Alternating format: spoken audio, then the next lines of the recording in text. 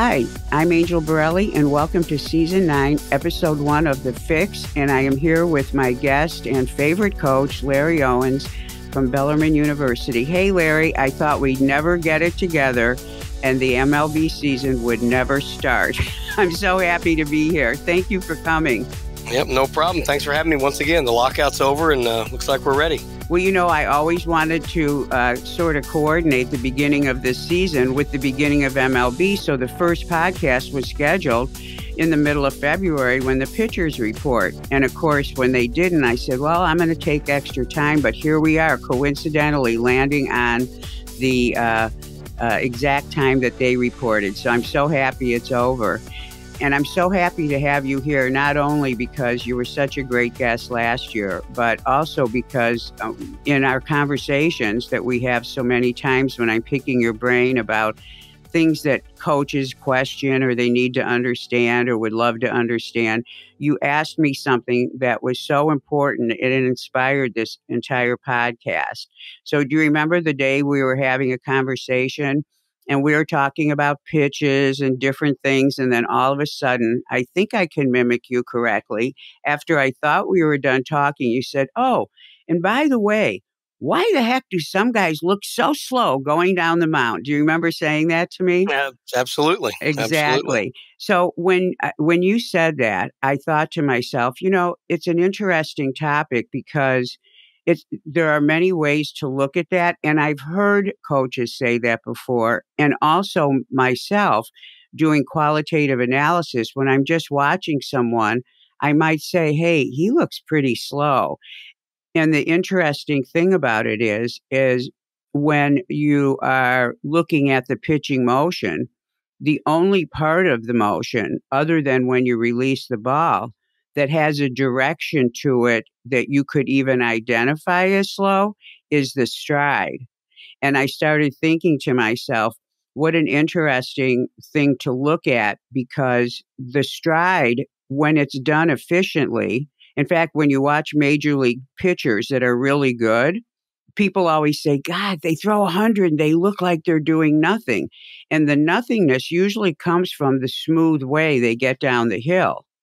And I say to myself, it's funny when when it looks slow, we notice it's slow. But when it's efficient, it's not necessarily fast, but it's got an efficiency to it. And I thought, what an interesting part of the motion the stride is. And and you know, in graduate school, my entire thesis was on the lower body contribution. And I've always been a fan of trying to understand more and more about the stride, about issues with it, and also about ways to teach it. So, the good news is, Larry, I have some information for you today to help uh, talk about this exact issue.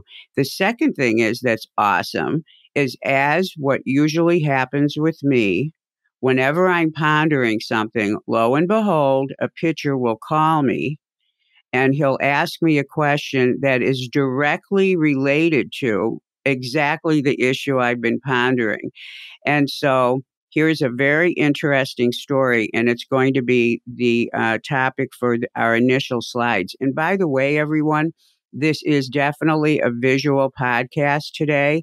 And while you're going to learn a lot by just listening, if you can listen to this uh, on YouTube at Angel Borrelli Pitching, you'll be able to see all the uh, information that we're talking about. So, anyway, so Larry, I get this call from a pitcher. He's in college. He's been gone a year from working with me.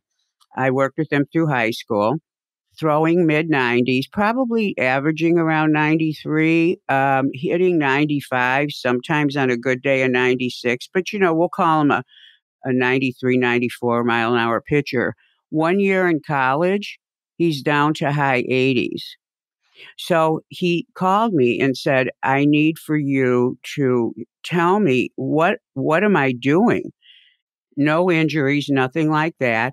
So because so he flew in to work with me and of course I got some video and I went home after the first day and I said, you know, I'm going to take his film from when he was in high school and maybe I won't go to when he was throwing the hardest, but he was always in the 90s. I said, "Let me let me look at some film."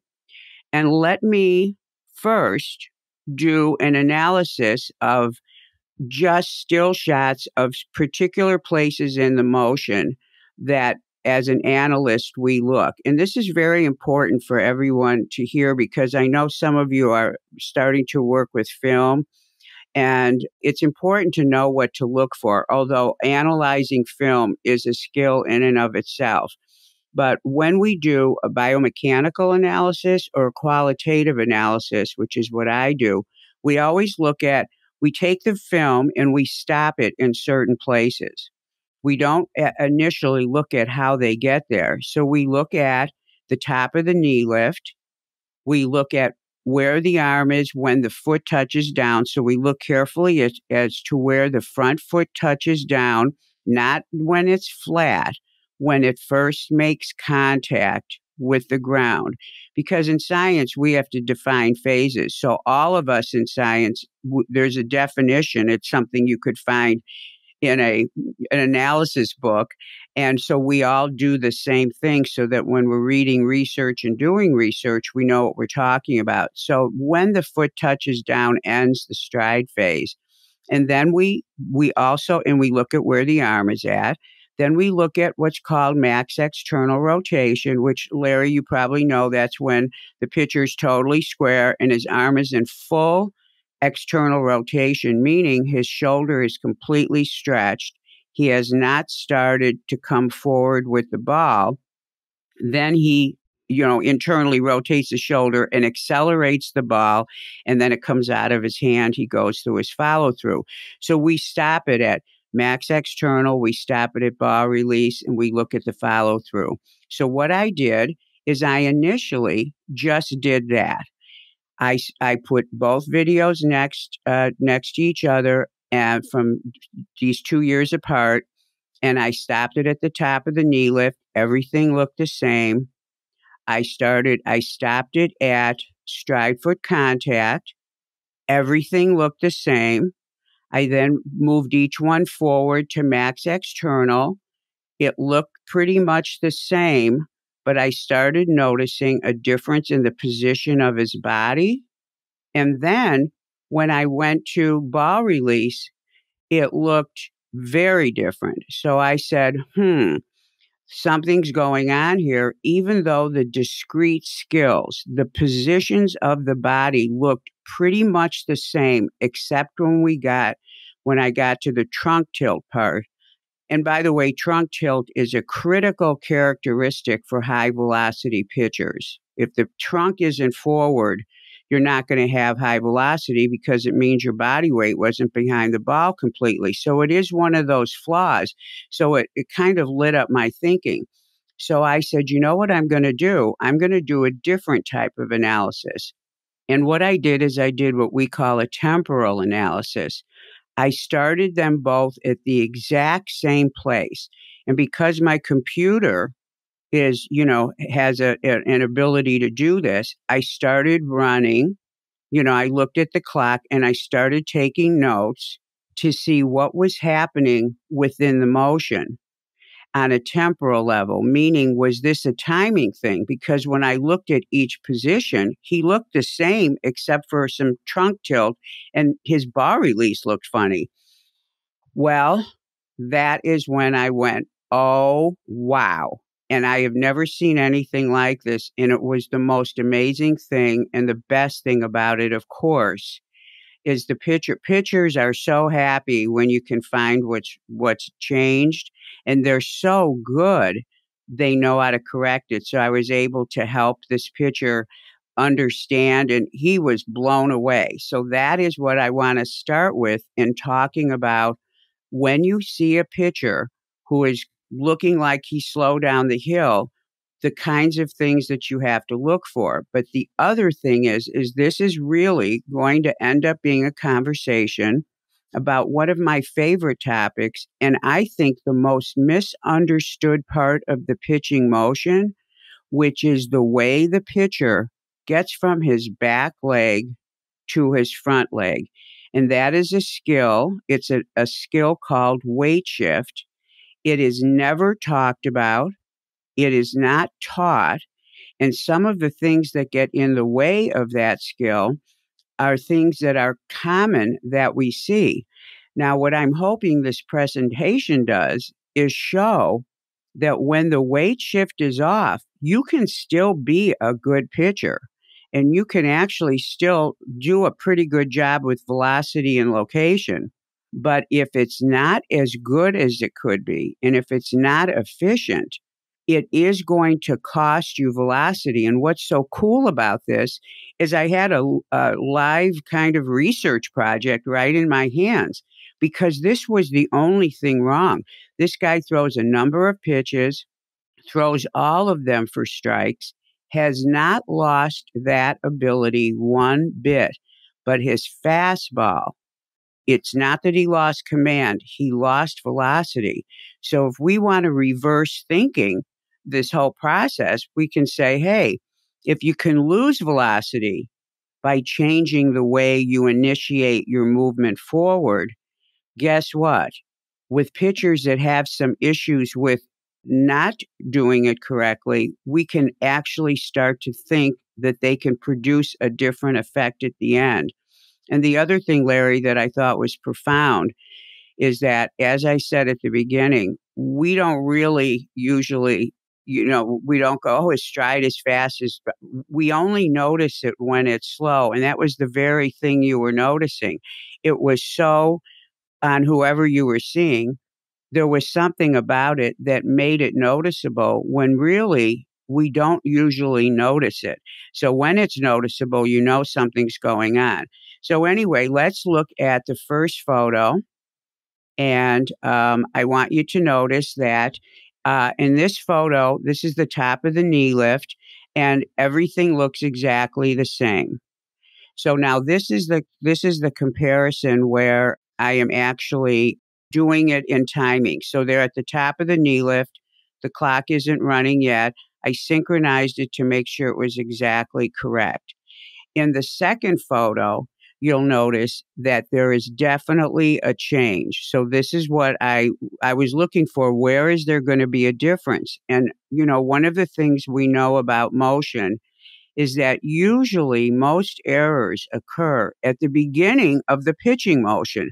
They happen before the sometimes before the ball is even completely out of the glove. That is why it is so important to be able to look at where is there a problem? The ball might be going slower, but it doesn't mean there's something going on with the ball or with his hand or with his shoulder. So here we have in the second slide, we see that look how far out into his stride it, he is. And look at how not far out he is in the photo on the right. The one on the left is, of course, the older uh, high school video, and the one on the right is his college video. Larry, can you see, is that difference not like totally amazing? Yeah, yeah, it's completely different. Yeah. From just maybe that move right there, you can understand maybe why it did take a little longer, you know, to get down the hill. Because he, the, the, photo on the right, he, in a generic way to explain it, it's like he kicked his foot out. Yes. His foot's going to take the long way around to the, to getting, to getting to the same spot. Exactly. It's going to take a longer route to get there and he's going to swing open like a gate instead of maybe on the photo on the left. More efficient on the left, it looks to me. Yes, of course. Well, there's it's it's even deeper than that. So first of all, in looking at his current video, he didn't have anything unusual about his landing was good. His landing looked the same as I said. All of the characteristics were there, but it's how you get there. This is why we have to be, you know, in the work that I do, the analysis has to be more complete. So let me address what you just said because you're absolutely 100% right. But there's a more important thing to understand here. So uh, on the left, you see that he's coming off his leg, and that is called weight shift. He's shifting his hip. The legs do not move the body forward. They cannot move the body forward. The hips move the body forward. Everybody says rear leg, drive leg, blah, blah, blah. It's the rear hip. So what's happening is the side of the hip needs to be moving him downhill. Well, in order for his left leg to kick out in the direction, and you notice that he's coming forward with his left leg. What he did there is behind the hip, so the gluteus medius, and I wish I could put up an anatomy photo, but you will be seeing some of this later in the presentation, is on the side of the body. Well, to in order for him to kick his leg out in front, he had to put a lot of effort into the back of his hip, into the glute, the what we would call the butt muscle and the hamstring. It's complicated. But because he changed the muscle that he was using, as you can see, he starts to come off his leg, but then he interrupts the forward motion. He's actually interrupting, and in in the way you said it's also correct. It's not efficient. It's not a straight line. He's interrupting the work that the ba- the hip on the side has to do by causing another muscle to work because he put his leg out to the front towards us as we're looking at it. Also, notice that while his right arm looks like it's little, it is kind of equidistant from the body, even though he's not off that back leg as much. But notice how his left glove arm is staying in, and that's because he has changed his center of mass. The hip is actually, when you're moving downhill, and this is true for golfers and it's true in hitting, you're shifting your center of mass sideways and your body becomes balanced. So if you notice on the left, he kind of looks balanced. I mean, his arms and his legs, he looks like he's in the middle of a jumping jack. On the right, his body's processing his weight. So what's that going to do? It's going to slow it down. So when I saw that, I went, oh, wow. Well, now wait till you see. And this is why I find this so dramatic. And please, everyone, remember this is a clock on a computer. This is correct analysis, meaning I'm not making this up. Take a look at the next photo and just notice that he that is his stride foot contact position that has already happened. And notice that on the right, he is not even close to that.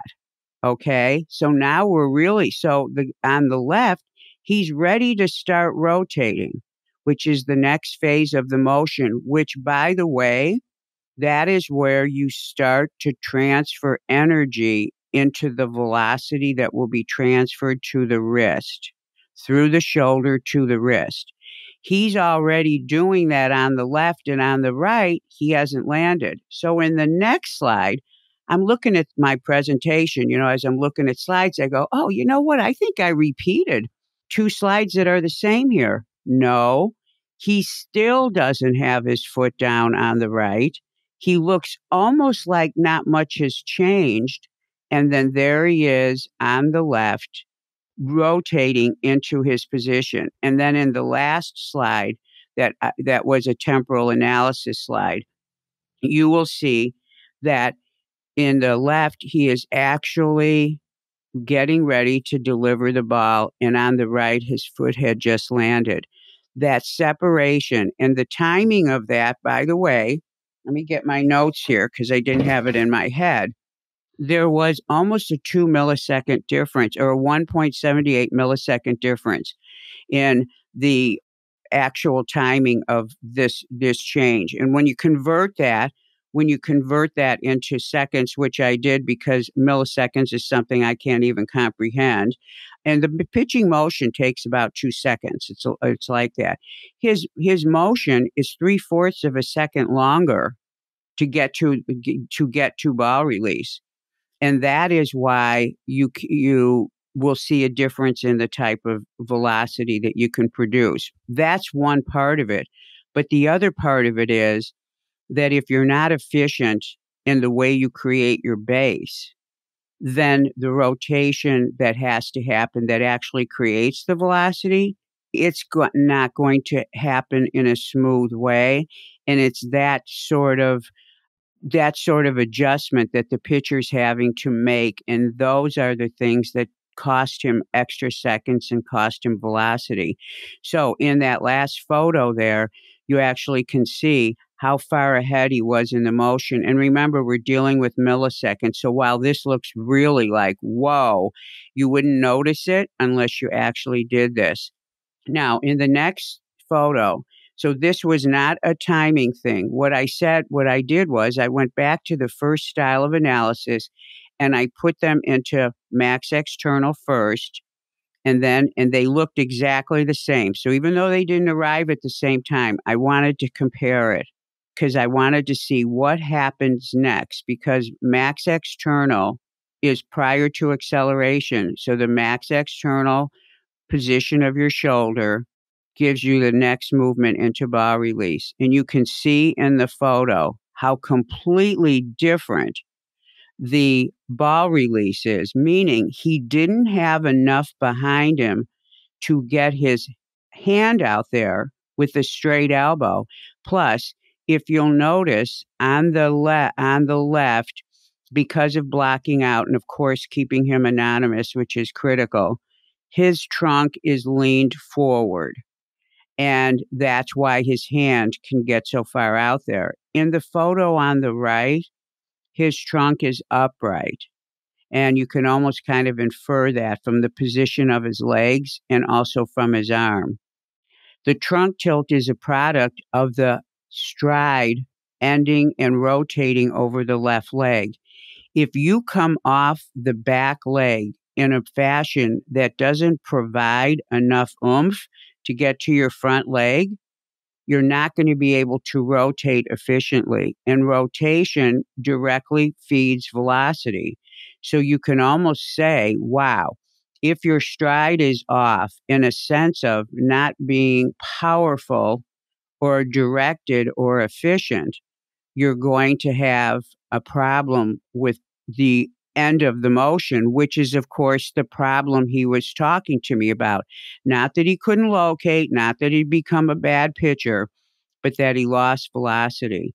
Now, what I w- want to do right now is a disclaimer and, and remind everyone when I say powerful and efficient, this does not mean fast. Don't interpret this so much as his stride is slower because it can throw off the way you're looking at it. It is not directed and efficient because a stride cannot speed down the hill because then you jar your motion and you end up with a timing delay at foot strike instead of coming off the back uh, back hip. So by learning to come off the back hip efficiently and correctly, in other words, learning how to weight shift is critical to what happens in the rest of the motion. So, are you as blown away by the timing difference as I am, Larry? Yeah, that's pretty interesting. Is there a is there a certain honey hole for a time? Like, is there a better time than others from say the moment the leg is at its highest point to release or foot strike or actually you know what? There probably there probably is in the literature because one thing that um, and i'm going to be talking not talking but mentioning a, a, research article that's interesting. Most biomechanical uh, research does talk about the percentage and, and in this last article i read it said that the delivery to foot strike is about 70% of the motion. So there isn't really that I, I, can't repeat a time number, but I'm pretty sure it's in the literature. But here's the interesting thing I want to go back to. When it's efficient, you can see it. When it's not efficient, that's when you really notice it. And this was just to me, but the thing that this speaks to, because we're dealing with a two second motion, so having a difference of 1.78 milliseconds is a huge portion of that. But the thing is, when you look at the pictures, if I ran these videos side by side at the real timing, you would not have said, oh, wow, well, you know what? His stride is uh, completely different, or he's taking way longer. These things are not noticeable. This is why I don't know how anybody does anything without using film because it's just too small of increments. But what's interesting is He's not using his rear hip muscle correctly. He's getting the job done, but that incorrect usage caused a, has caused a problem with the rotation phase of the motion, meaning that he didn't get to the axis of rotation in the way he needed to. And it not only jarred the smooth transition rhythmically, but it limited the way that he could rotate over his hip. And the way that I know that is because one, his trunk never tilted. When you're going forward over your front leg, you are striding out, you are moving your center of mass over to that front leg, then you are turning on top of the leg. But if you don't get on top of that axis, because let's say you didn't have a stride that got you there, you're going to be pitching, your center of mass is going to be more in the middle. It would be like a golfer having a backswing, and the golfer has a backswing. He shifts his weight. Let's talk about a right handed golfer. He shifts his weight to the right. He shifts, starts shifting down. In the middle of his shift, he hits the ball and he's shifting all the way to the left. If he uh, can't if he stops that weight shift just that impact that's going to affect the swing the ball everything else. It's an unusual it's an error. And and in fact it's probably a common error. And and hitting i think you guys catch it easier because if a hitter doesn't shift his weight completely it's probably going to look so funny about the way he approaches the ball the contact etc so weight shift is a critical skill this really, to me, validates the necessity of paying attention to the details of what actually creates a good stride. And that's why I love this project because I am a fanatic about understanding that the rear hip is how you get forward and not by any other means. Uh, does all that make sense, Larry? Yeah, absolutely. I have a question. Is there a more efficient way or better way than others to teach a kid how to use his back hip to move him efficiently down the hill? Is there a, a, a is there a teach? Is there a way to teach them how to use it correctly? Yes, you came to the right place. And I like that you used rear hip. See, you're already you're already getting into my club. I want the world to start to understand that it's the rear hip that creates the movement. Now, the back foot needs to be down so the hip can move forward. That's just you connecting it down so you can move. But the leg and the foot create no forward motion. The hip does. But I'm going to talk about, I'm going to answer your question right now, and here it comes. So let's first talk about some of the things that happen in a what has to be understood. What has to be understood in order to start to make a correction is you have to understand what are the flaws and why why are they flaws and and how what's a new way to look at it. So I put uh, the slide up again of this picture and the just to remind everyone this is the difference in his stride. He did not move sideways. Now, when I was talking to this pitcher and he saw this, I said, How is there something that you change or whatever? He said a few things, and this is very common. And for coaches with young kids, please, this is the most important thing you're going to hear on, uh, from this presentation. He said, I felt like I needed to stay back so that I could get, when I started losing some velocity, I thought I needed to stay back longer so I could get a little more oomph out of my stride. I said, okay, now we know, all of us know, that we want, and we hear coaches teach this stay back. We know we do not want the head and the upper body of the pitcher to lunge forward towards the bottom of the hill. We don't want that.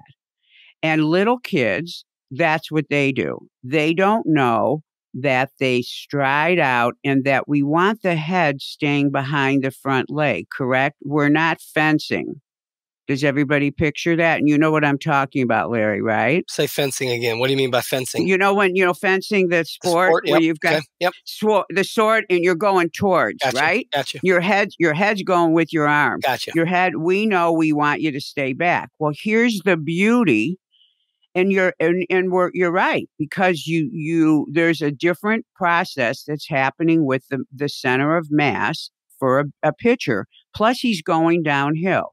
So you're not running. Running, your head's going forward with your body. Hitting, your leg goes forward and you pull your body back.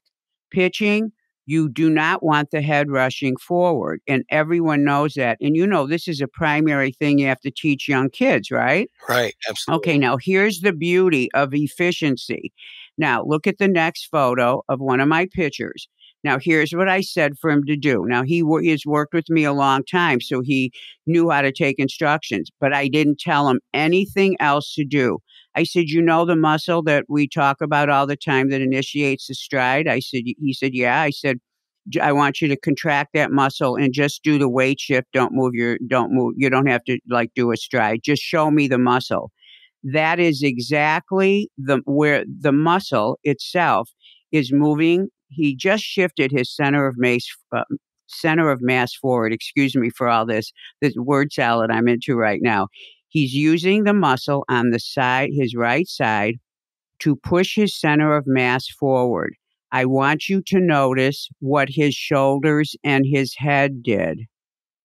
They stayed back. That is, if you, in fact, I wish I could remember if it was a physics book, if it was a biomechanical oriented kinesiology book, which is what I'm thinking. When the gluteus medius, which is the muscle, shifts the weight sideways and your feet are, you have a fixed foot, the upper body will lean towards the backside because it's doing a center of mass correction. Because what you're really doing with that muscle, and this is the definition in a biomechanics book of what it does, it shifts the center of mass forward. So if that happens naturally, if you use that muscle, you get everything you need to have a perfect stride without the head going forward.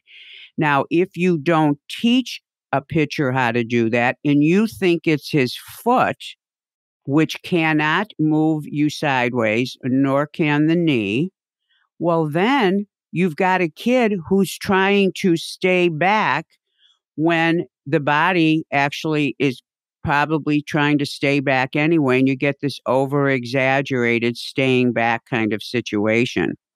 So, this here demonstrates a normal movement of how it looks. Now, let's go to the next photo because what I did with this photo, and this is Nico Ratto from De La Salle High School, who I think has one of the most amazing strides.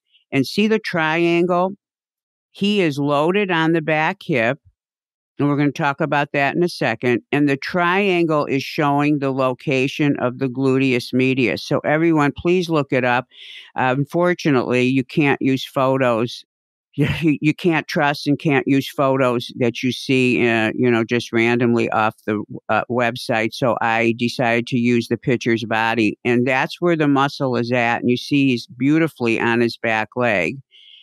And then as he made his stride, and he's in a perfect stride foot contact position here, uh, you see where that triangle is? That's the muscle that he used to move himself forward.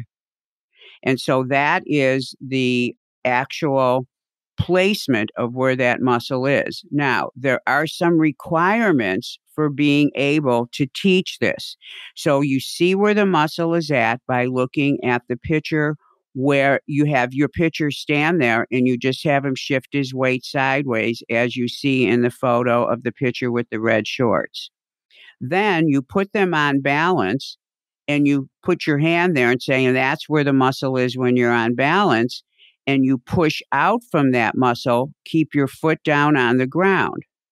So that's how you help them identify where the muscle is at. Now, the muscle is designed to do this so they don't have to search. all you're doing is bringing attention to something that's already there. So there is no selling of a bill of goods here. No one's going to go, no way, no way, that doesn't work. I don't feel it. This is how your body works. Okay, now I couldn't help but put myself in here because I know all of you think I'm not really real and I'm just a voice over here. or she doesn't work out or she doesn't do anything.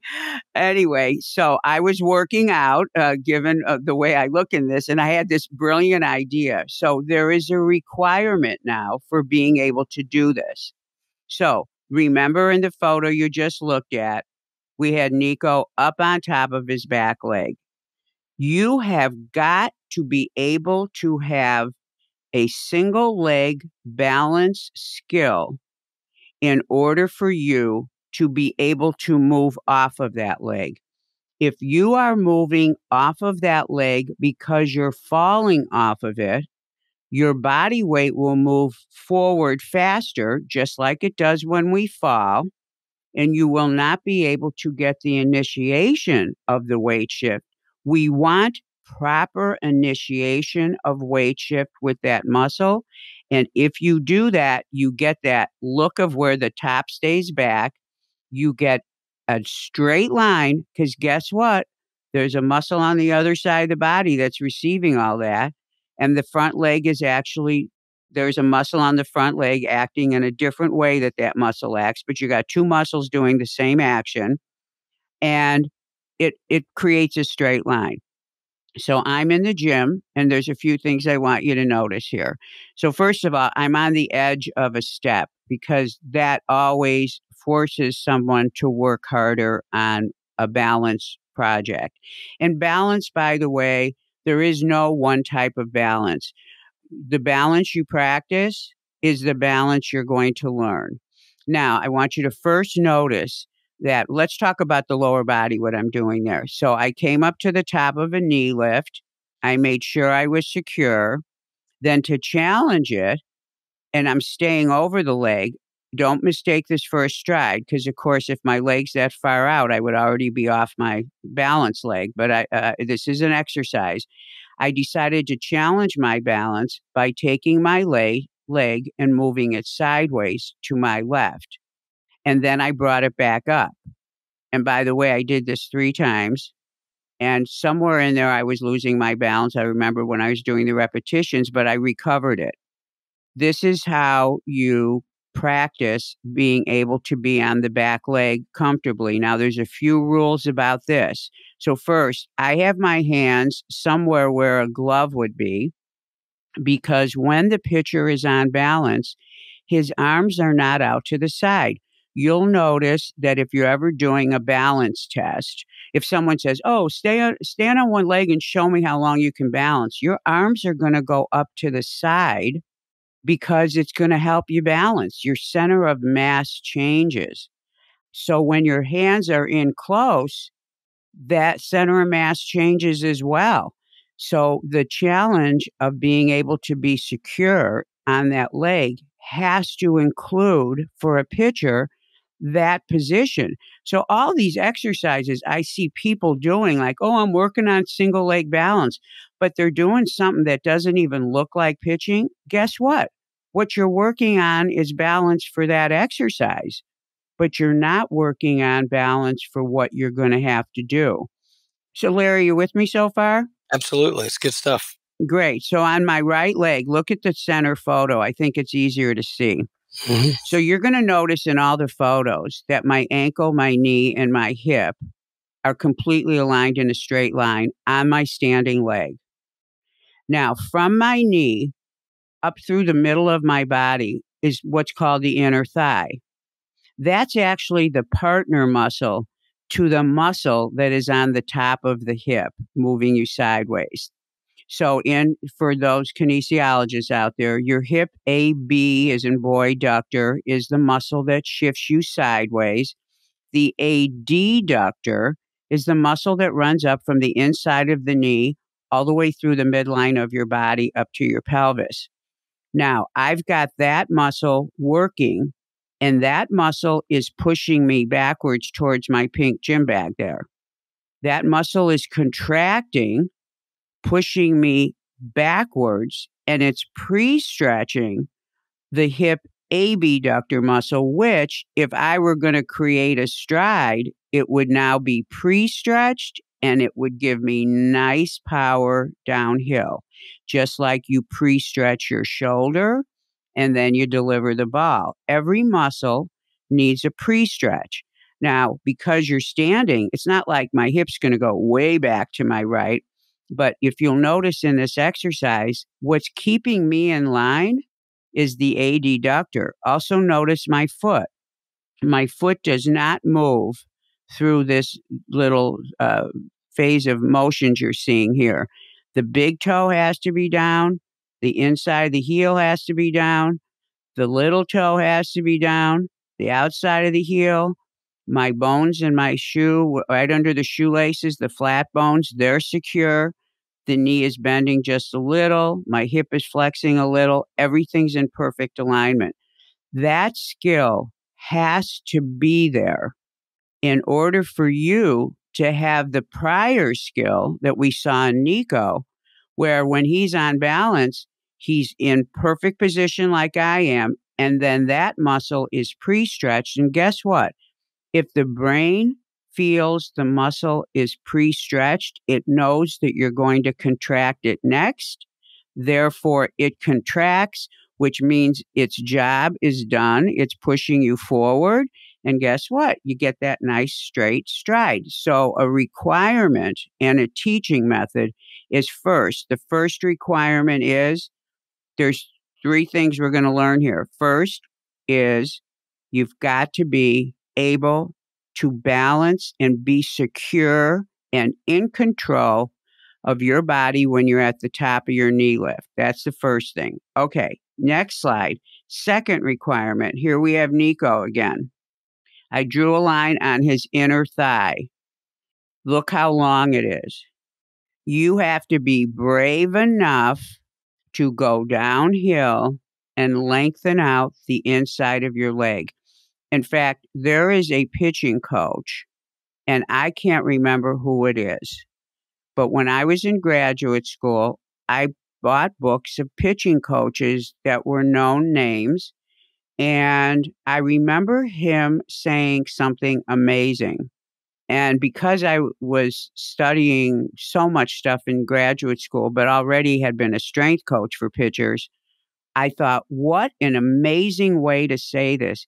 He said, You have to, on a stride, to create a good stride, you have to ride, R I D E, ride the inside of your leg. He didn't even know what he was really saying. He was saying stretch out the adductor while the abductor is contracting. I mean, he was like, that is kinesiology. When one muscle contracts, its opposite muscle stretches. So by allowing more of a stretch, you allow more of the contraction. This is how you see a stride be controlled down the hill, even though you're producing force at the hip. So look at that length. Now, do you think you'd be brave enough to ride out like that, Larry? Absolutely. Were you brave enough to ride out like that? Absolutely. of course, sure. but the but the other leg, right? Right. Of right. course, there's no lefty that's afraid to go down right. the hill no like way, that. No way. okay. now, last but not least, my pet peeve in motion here. I'm going to click on this little picture here. Now, that is the knee joint. Yeah, that is called a valgus knee. You've heard that term because they talk about valgus elbow, blah, blah, blah. These are forces on a joint that you don't want. When I was in graduate school, I learned that hip abduction was how you created the stride. I interviewed over a hundred pitchers. How do you get to your front leg? That's all I asked. Uh, the knee, um, the ankle, uh, the push, the you drop. Nobody said the hip. Most people said the knee. This is what you see on most pitchers. And by the way, in football, this is a 15 yard penalty if you hit a player and push his knee in like that, that's how dangerous that position is. And it drives me crazy that pitchers do this. And when you turn the knee in like that, it'll it, you starting to change the center of mass of your body. So guess what you're going to do? You're going to tilt way backward, lean back because now you've got a part of your body going forward. It's going to shift everything and it will not allow, in fact, it interferes with the gluteus medius doing its job fully because now you've got the knee leading the way and that shifts everything. Now, here's why I think this error happens. And this is another thing that I learned in, in physics or something. Whenever the body moves sideways, the brain lowers your center of mass. So picture a basketball player. Let's say he walks up and now he wants to guard the guy with the ball. He's going to immediately lower.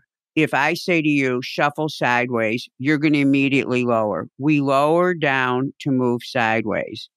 Lowering down means that your body's going down. But most people lower down from their knee joint. And I think what happens is the pitcher's thinking, I got to bend my knee.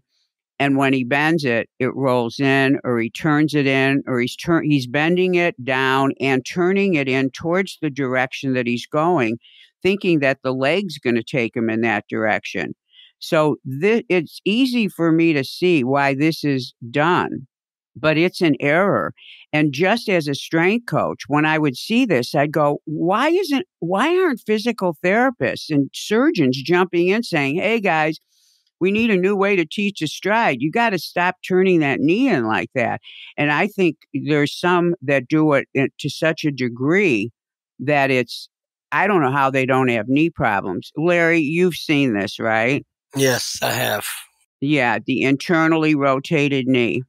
I've had some guys, especially I remember in the minor leagues, I had some guys that en route to the plate, eh, you know, as they begin to stride to the plate, to tilt their hips, to lead with their glove hip. And it caused them to get, in my opinion, too tilted. Would that, would something like that, would that kind of teach cause, cause this or not? Do you think? Well, so first of all, one of the things one of the things this muscle does, not to confuse everyone, but it moves you sideways, but it also pulls your pelvis down onto your leg. In fact, when you see people that can't walk correctly, there's a particular name for it, the Trendelenburg gait. You'll see people take a step and they're dragging their other leg through. It's because the gluteus medius has lost its its weakness or they've had nerve damage so there's not enough room for the leg to pull through. Let me back up and say one thing to remind everybody you've heard me say this before. You're suspended from the t- bottom of your head. Okay. Your weight transfers down from that through the hips into the biggest bone in the lower leg. That's how you're at, you're standing. So, in order for us to be healthy and do things normally, our pelvis, which is the big square, you know, if you go from pocket to pocket, there's a big bone under there. Think of it as a rectangle. That has to stay level. And when it's level, the legs, as they shuffle through and you're walking, you your legs fit. So one of the things that muscle does is it pulls the leg down. So if the pitcher is told to raise up that left hip to move out the glove side, and he tilts downward, he's actually the gluteus medius is now working as a downward pull onto the femur. And it will, with other muscles, start to move the body sideways. What that pitching coach said incorrectly was, is that the left leg would then pull him out. Just so you know, and this is something you've also heard me say because I think it's funny. I think it's funny, and I have heard people say this the way you get down the hill is by your front leg. And I always say, but the front leg's not on the ground. You can't go anywhere with the leg that's not on the ground. You can swing that leg, but if you don't move off of the back hip, you're not going anywhere. So the front hip can't pull you down. But what he didn't realize he was saying is tilt backwards to load the back hip not absolutely correctly. He's using a little compensation movement, but that's what he was teaching. The risk you run with that is you get other muscles doing the work. Plus, don't we want our pitchers level? Yeah. And don't we want their arms level? Yes, yes, yes. Yeah. Now there's some guys that get their glove arm way up in the air and they look like a little like they're doing a, a, a cartwheel, right? Or they look like a little, and we hate it. And sometimes they pull it off. Remember, there are pitchers that can pull off anything because there's some great pitchers with mechanics that make me go ouch. But when we are teaching, or more than that, when we're troubleshooting, you see, my job is to troubleshoot. My job isn't to go around and say, I don't care if you're throwing 100, I want you to throw right. My job is to be there when the guy throwing 100 says, I think I can throw 105. Could you tell me where I'm not getting the best out of my body? Or I'm hurting my shoulder. Something hurts. I'm worried about my 100 mile hour velocity. Can you show me where in my motion I might be hurting it? That's my job when we teach, we want to kind of teach the best way. And you know, Larry, the more linear you are, I mean, pitching is a go downhill in a straight line, turn on that axis, and then throw the ball towards that plate. So everything's from the rubber to the plate, and that's a straight line. The more you tilt, and I know you use terms like north and south, east, east and west. We don't want east and west. We want north and south, straight down the center and level. So when you spin, you know, if you put a plate on the table and you try to spin it, if that table's flat, it's going to go really fast. But if you don't have it level and you try to spin it, it's going to like slow down or it's going to fall off. So spinning and turning should be done that's why when we see uh, an ice skater or anybody a pirouette or whatever, that's done. That is practice to be done on a perfect plane of action. So he was, he probably felt something. He didn't explain it. But what he did accomplish is loading that back leg by dumping the body weight backward onto it. But as a method of teaching, it's probably not correct. Right, right. Interesting. So you see how I'm level in my uh, in, that exercise I was doing. Yes. I okay. That's the way to do it because then you're allowing freedom. If there's a muscle that's supposed to do something, guess what? Whatever you're doing, you're going to do it better. That's why in sports training we look for efficiency of the use of muscles. And our body has a muscle. For example, the muscle on the side of the shoulder, the middle deltoid, it is designed to raise the arm up to the side. So when you're doing a jumping jack, it's designed to do that. In pitching, both your shoulders have to come up to shoulder height, like a jumping jack, right? Mm-hmm, mm-hmm. Pitchers get into configurations with their arms behind them, in front of them, they're raising their arms up with other fibers in the shoulder that guess what? Don't do as good of a job. So now you've got arms that get up late or whatever. Do you see what I'm saying? Mm-hmm. There yes. is a way. That's why I love my work. Kinesiology. It's balanced. It's and the body doesn't change every day. You know, you're not going to hear me in three years talk about the stride or the gluteus medius any other way. This is the way it is. This is the way your body's designed. This is what it does. That doesn't change. Now, how you use it or take advantage of its efficiency is up to you. But when you're looking at something like your guys or you, whoever you looked at that said, man, he's moving slow, now you kind of can look to say, okay, well, the only thing that I can could see being slow is it's got to be his downhill motion which means it's got to be the way he's coming off his back leg. So the initiation of the stride creates the stride. So, all of us in the world, we do not have to worry about the stride. If you worry about the initiation and you do that correctly, that leg's going to go straight out. And guess what else solves itself? Where the foot goes. Because the foot is attached to the leg, which is coming out of the hip. And if your hips are moving perfectly sideways, then your foot's going to be following it. That's actually how we walk around. So the next time you're walking, notice how you don't have to think about that. Cool stuff, huh? Kinesiology. I love it. Very good. Very good. Yes. A lot of teachings to me are non-teaches. They're unnecessary if you teach a person how to use his back hip exactly. correctly. A lot of the other things are just non-teaches because if you use it correctly, you will stay back. You won't rush out. You'll exactly you'll move downhill efficiently and, and on time and what is a good time for you. And it's not too slow and it's not too fast. Yes, and in fact, Larry, that's why I was I was going to try to figure out how to add that in when you asked me what's the perfect timing to get down the hill. See, we have to be really careful about that. And a lot of people get ground reaction force mixed up in this too. There are ground reaction forces that occur about 30% of the body weight uh, on the back leg. He lands with about 70%.